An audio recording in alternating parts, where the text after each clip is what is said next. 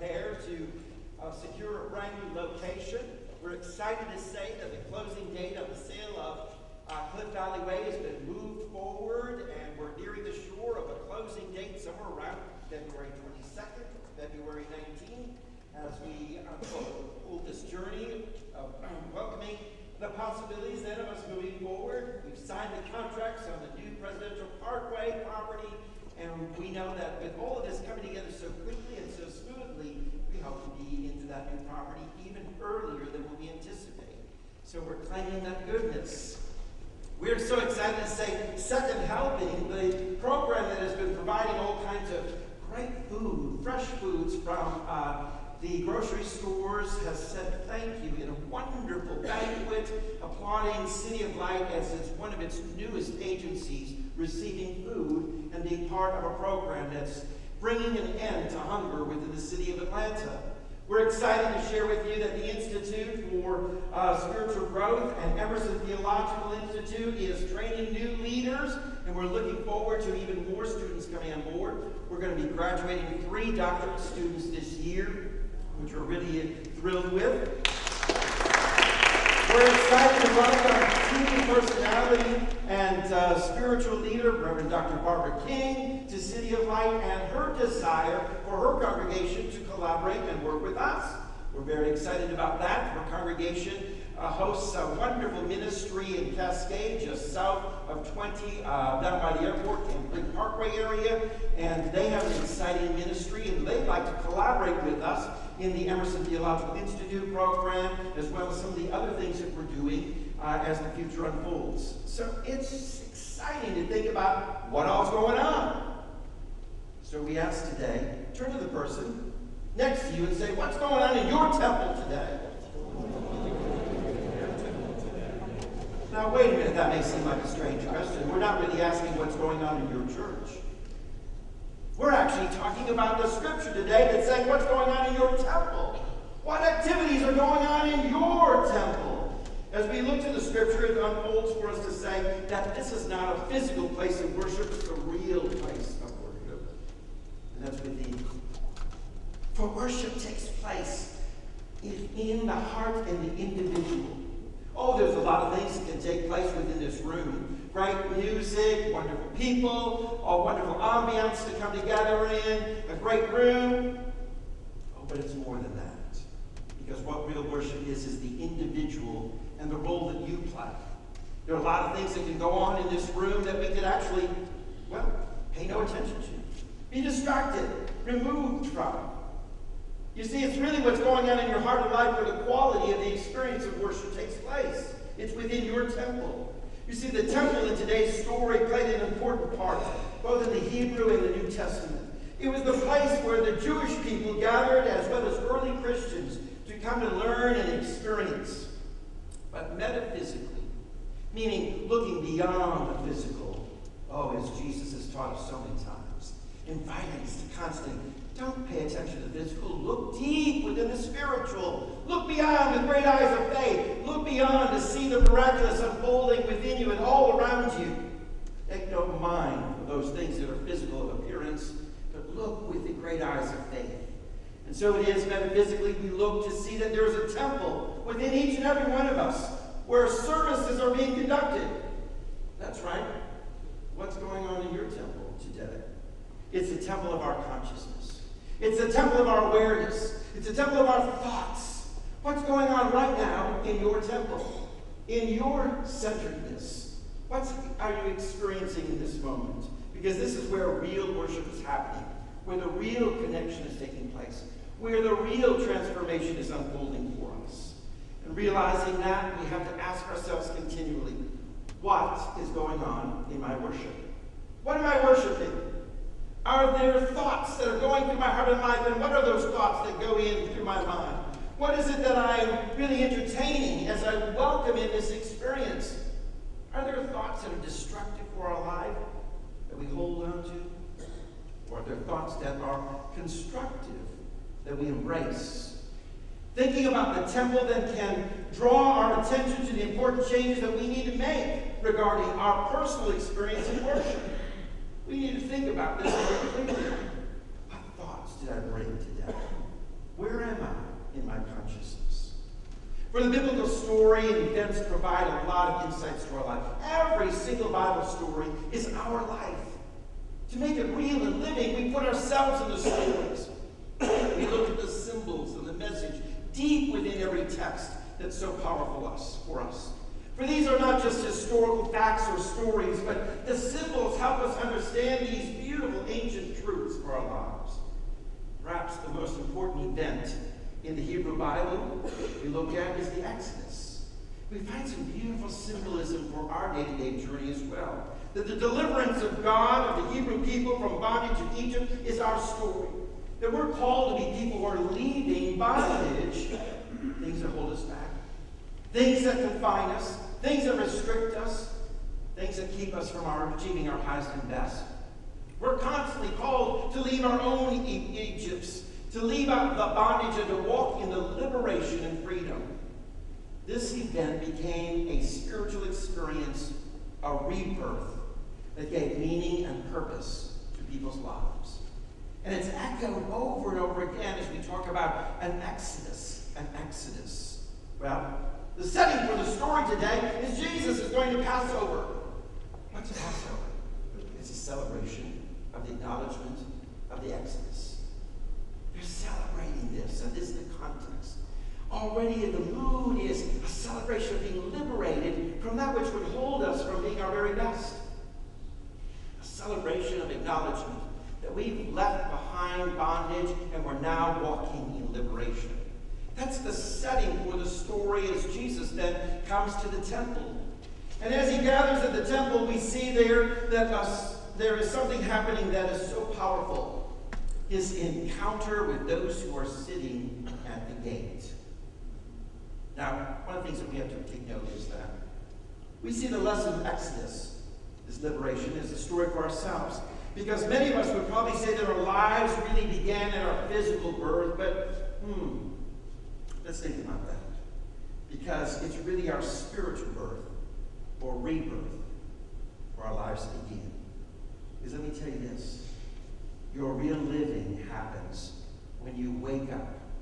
When you wake up to your spiritual journey. That's where living begins in your life. Oh, we can go through the routine of life. Yes, you're breathing. Yes, you're moving. You're going through the day to day stuff. You go to work, you drive home, you eat, you go to sleep. Real living happens when we waken up. Waking up to, are waking to, to this rebirth, this wonderful moment when we waken up, wake, are waking up to our spiritual birth. Where we grow physically, and life seems pretty much a mystery, mystery. We go through all sorts of experiences and wonder why a particular happen, thing happens in our life and why something may not happen. Well, it's not until we're really reborn spiritually, awakened to this moment that life seems to have some real meaning. It's then that we review our life in the light of our spiritual birth and we gain these wonderful new insights to the journey of living. Our spiritual birth, which has changed. Now we look at a world, it changes us and we look at the world differently. It gives us a hope and a new future and a new way of seeing every experience. So as we look at this story of Jesus coming to the temple, we discover the spiritual journey that the text invites us to take.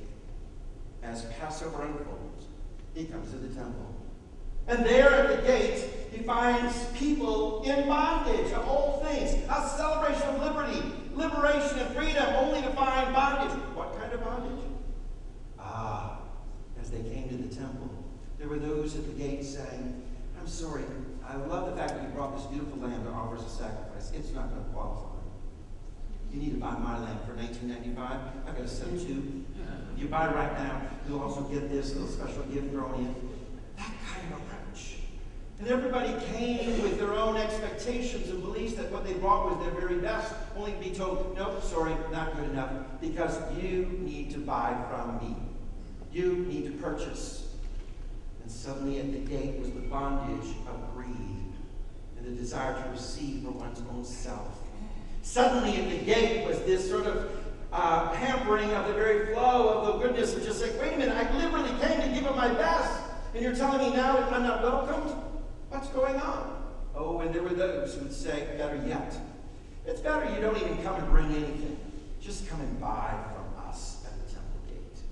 Because this is where we're making all of our money. We're making a living off of your spiritual life. We're really doing our very best to glean and to collect from you so that we might have something that is for our own gain at your great expense. And what Jesus saw was this great celebration of liberty, great celebration of freedom and liberation, was that the world was filled with a spiritual experience of bondage. You see, when we look at this, we say, what does that mean for our lives? Well, if we, as we find out, as we read in the passage of Corinthians, 1 Corinthians 3.16, we're the temple. You are the temple. That's really what the Spirit has been talking about, the great symbolism of this story. You are the dwelling place of the divine. In your consciousness, this is the beautiful place where you encounter the Holy Spirit in presence. At your gate of your consciousness. What's the gate of your thinking? What's the entry point there? Are there those who would try to sell you a bill of goods? And sometimes we feel like we can't really enter into worship because down through the years we've been sold a bill of goods and we bought it. Condemnation, judgment. A spirituality that's filled with the sense of saying, you're not good enough, you're not worthy. No matter what you brought, it's not good enough. You've got to find something better. Or a spirituality that somehow says that it's better off if you don't think at all. Maybe our thoughts would say, you know what, when it comes to things of God, it's better I just don't think. I'll just let someone else think for me. I'll let them do the thinking, and whatever they say, I'll just believe. And so I'll buy into that. But oh, that's not our liberation at all. Whenever we're told in some way that you're not good enough, you're not liberated, you're walking in bondage. And whenever you're told not to think, you're not liberated. You're walking in bondage. For your freedom is to acknowledge that who you are is amazing, powerful, and good. You've been created in the divine image of God, and you live that out, and you celebrate that truth. And you know that God has given you the wonderful ability to think for yourself and to accept responsibility for your own journey. And with that, you accept these kind of powers of liberation and you begin to celebrate it. For in this story, we know, down through the ages, the ancient truths, the symbolisms of the Bible, that sheep, well, they kind of represent our thoughts. Metaphysically, beyond this physical, we look to the story, the depth of their sheep reflecting our thoughts. You know that passage, all we like sheep have gone astray. Trust me, some of our thoughts have gone astray already this morning. Uh, some of you are already thinking somewhere else. And, oh, oh, wait, all we like sheep have gone astray. Wait, but we have pulled those thoughts back in. And how about the story of the 99?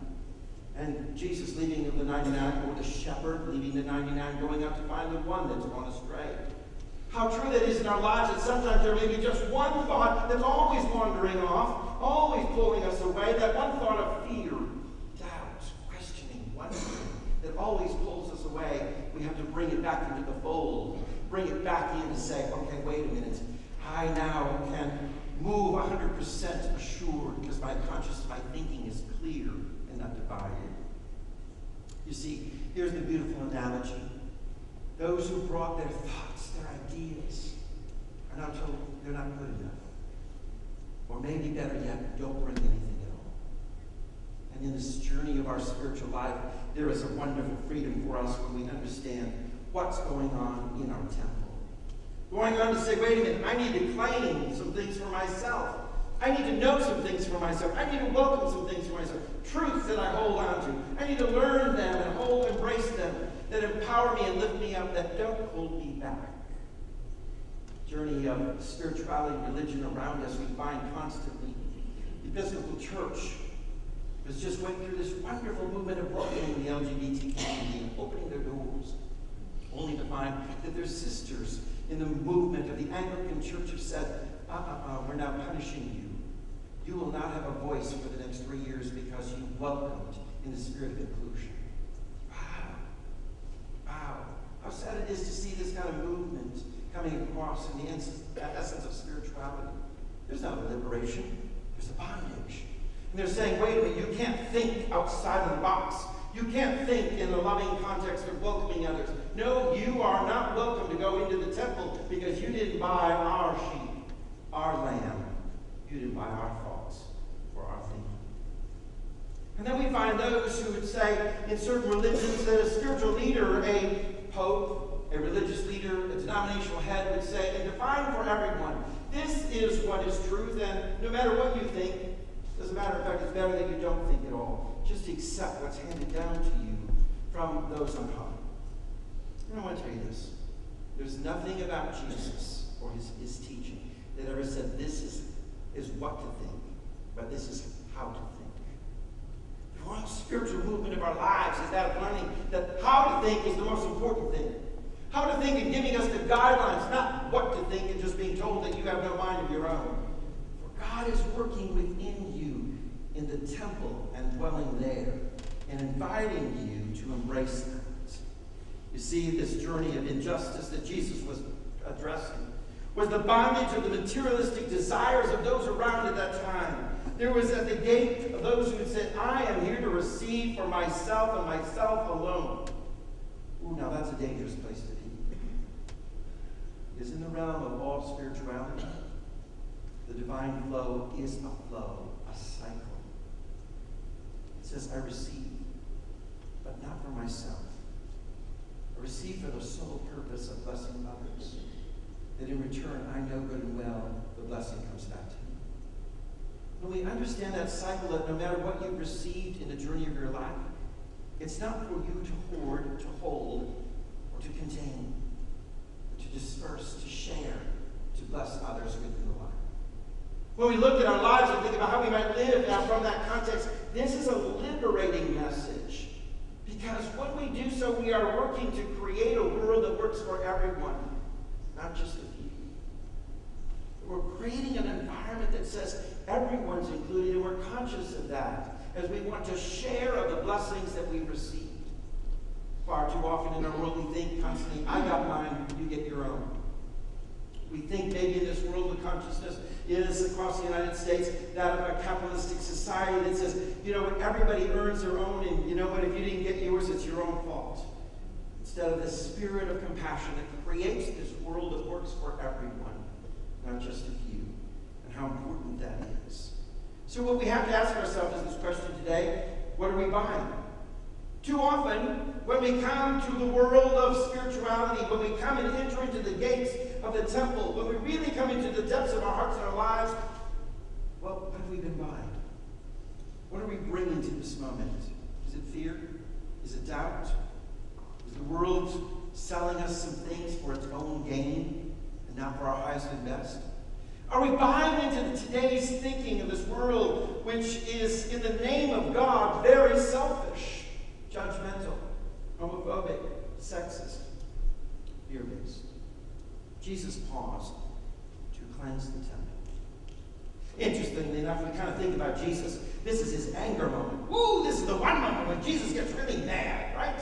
And we have these pictures of him just being violent with a whip and turning over tables and chasing people out. Let's think about this a little differently. Jesus sees what's going on has to pause to create, to make a whip of many cords. There's rich symbolism here because although we focus on the violence because that's our human nature, we want to see the story where Jesus gets mad. Let's see some guts here, you know? but what we really miss on is the symbolism of the story. Jesus pauses to pull together those cords that would be used to drive out that which holds back, that which hinders, that which is a barrier to the very reason we come to worship liberation, to experience it to its fullest. What's holding it back? Jesus wants to remove it. I ask you today, if we're really applying this story to us, what are you making your whip of?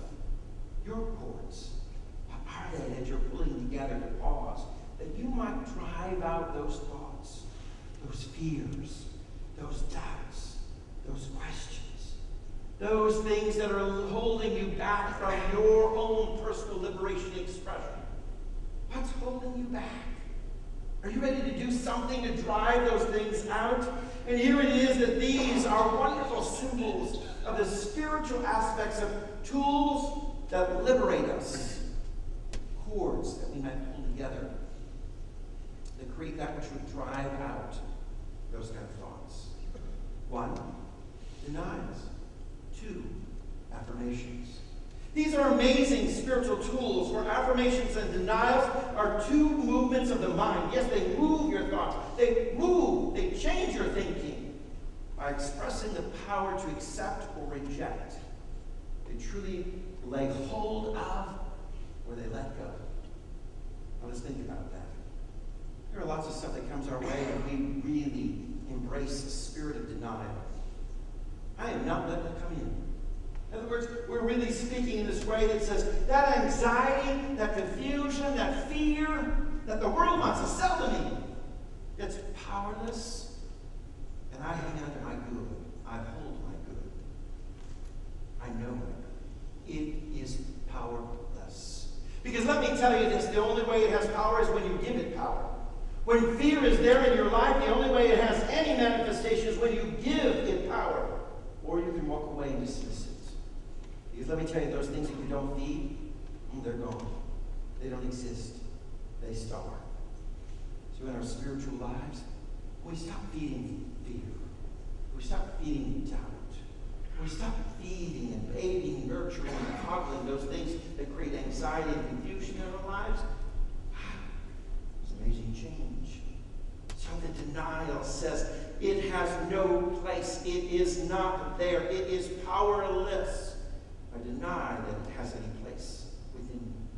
The affirmation is that which really holds on and claims in our lives. Because as we do this, we say the divine love of God right now dissolves and dissipates any anxiousness, confusion, fearful thoughts. And I am at peace right now, even in the midst of my storm. You see, when we begin to deny, it has no power, it has no place. When we begin to affirm, this is what does have power and this is what has place. We transform our lives and our consciousness, and we enter into the presence of God in a mighty and powerful way. Ooh, the psalmist writes, enter into the gates of thanksgiving with thanksgiving and praise. Either one of those are fear-based, are they? Either one of those are doubt-filled. Either one of those attributes that are less than liberated. Because thanksgiving sets you free. Praise is a celebration of freedom in your lives. I want to tell you this that when we then begin to say, this is what will drive out those thoughts of bondage, this is where they're going to drive out those things that are holding me back, I'm creating my own whip. I'm turning over the tables of the entrance of to my own temple. I am making a change right here and now because I affirm, I affirm, I affirm the goodness of God. Ooh, we're afraid that. Oh, wait a minute, because so many people say, wait a minute, that's just too Pollyanna for me. It's just too positive. I'm a skeptic. I like to think about, let's consider the worst case scenarios in our lives.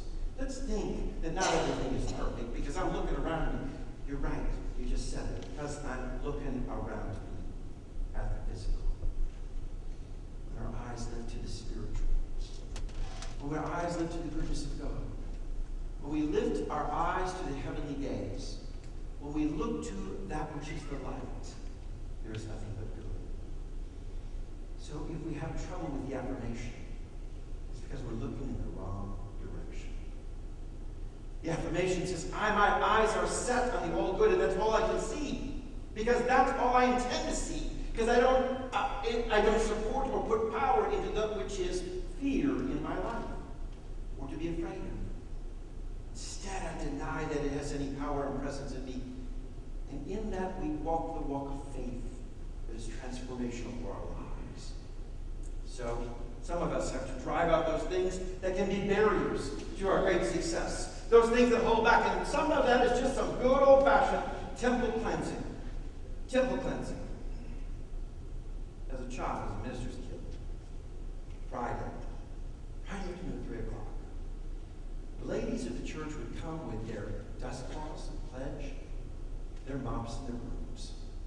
They would come with their dustpans and their Dutch cleanser and Comet and their Lysol. And, oh, it was cleaning day. It was preparation for the weekend in those days. It was cleansing the temple, you might say. And all those ladies came in and they would wax down the pews with pledge, and they would dust the window ledges, and they would clean and mop and sterilize and make everything and clean. What for? For worship. Oh, some of these good old Polish, Ukrainian women would say, well, you know, Pastor, everything's got to be clean and scrubbed.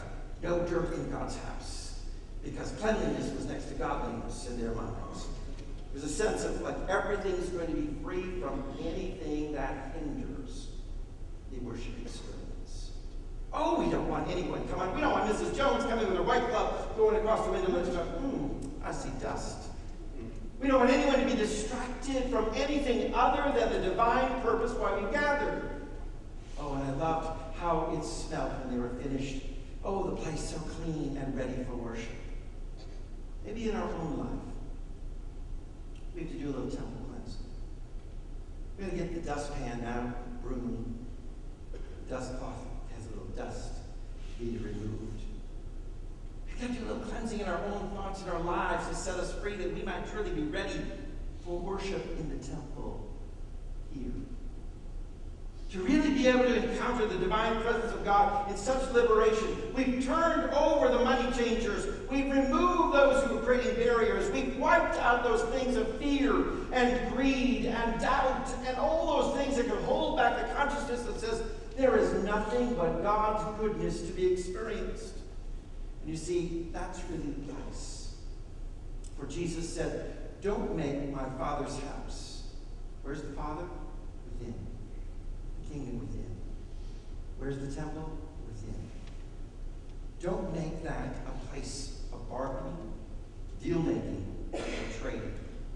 Now, some people have said, oh, they're so literal. They say, you know, that just means don't have a church bookstore because we don't want any deal making, trading, or selling to go on in the church. Don't have any exchanging. That's a total misinterpretation of this great spiritual all about is the deal making we do within our own hearts and our lives. I know some of you, when the lottery was so good, you said, Lord, you know, you know if I win that ticket, I'll make this deal with you. If you help me win it, I will give you a portion. I'm not so sure I ever heard anyone say I'll give it all. But here's the deal. You help me win, I'll do a little something nice for the church. I'll do something nice for God. We make deals.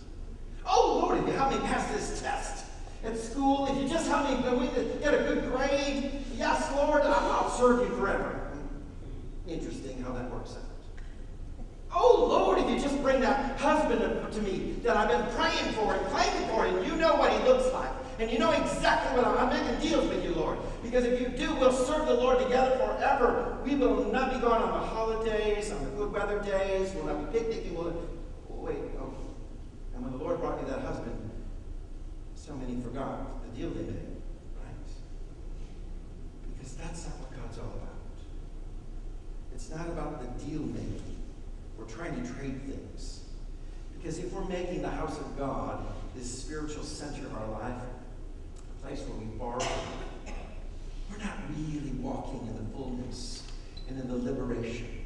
Because what we're doing is holding back and dancing with that which is not our fullest and our best. 1 Corinthians 6, 15 through 17 says, Don't you realize that you are the temple? You are members of the anointed one, of the Christ. So, should I take members of the anointed one and unite them with a? Meaning, one who sells of their thoughts, their very essence, for gain, for personal gain, for things that are all about themselves. This illicit union should never take place. You don't understand that when your body, your temple, your thoughts are joined with a prostitute who sells for gain, you're selling your thoughts out for something physical in this world, and we've lost the understanding that we're really spiritual people having a physical experience, not physical people trying, trying, trying to have a spiritual experience. You see, the text goes on in that beautiful passage, but when you are joined with the Lord, when your thoughts are one with God, you become one in the Spirit with God. Oh, how important that is. Oh, that we might awaken, and for this is Jesus' teaching from the beginning all the way to the end. Awaken that you are one with God, and all that is God is yours to claim, to embrace. Love, grace, mercy, the power, the strength you need, the forgiveness. It's all there. Don't let anyone tell you it's not there for you. Don't let anyone tell you you're not worthy of those things. Don't let anyone tell you that you can't receive those things because of who you are or how God made you. Oh, and don't let anyone tell you can't even think about those things or that you shouldn't. But what we find then is the disciples in the closing of this story, which unfolds so many nuances, they say to Jesus, Wow, I just remembered God, what you've demonstrated for us there's a beautiful passage in the Psalms that says, The zeal for thy house has consumed me and given me courage. They echoed an Old Testament beautiful passage of the Psalms. What does that mean? It means that your excitement about your personal temple, Jesus, about your wonderful faith and relationship with God excites me to such a level that I have a courage to stand against those things. Have a newfound wonderful zeal that comes within me by the example that you've shared and you've demonstrated because you drove out those things that could be barriers. I want to do that too. I want to do that too. You see, the passion for the temple, passion for our own spiritual lives, passion for our thoughts, is that which is so powerful for it creates the true and honest and open dwelling place that God has given to us. How important it is when you come to the temple, you ask yourself, what kind of services are going on? What's going on in your temple? Ask yourself every day, what's going on? What is going on in my head, in my thoughts, my consciousness? Because that's where I'm meeting with God. That's where it's happening, within the very heart, the very essence it's not what's going on in this room. It's not what's going on eh, in the, with the singers or the music. It's not what's going on in the prayer. It's what's going on within you. Because trust me, you can have eloquent prayers and beautiful songs, great music and wonderful sanctuaries. But if there's barriers in your thoughts, bitterness, hurt, judgments, fears, doubts, questions, sense of unworthiness, and ideas that you're not welcomed they're barriers at your temple gate. What's going on in your service? I hope you've picked together those cords of denial and affirmation, and you destroy those things to set yourself free, that you might then have your own Passover, have your own celebration of liberation, have your own experience of God's great fullness and divine love. This is the truth of Jesus.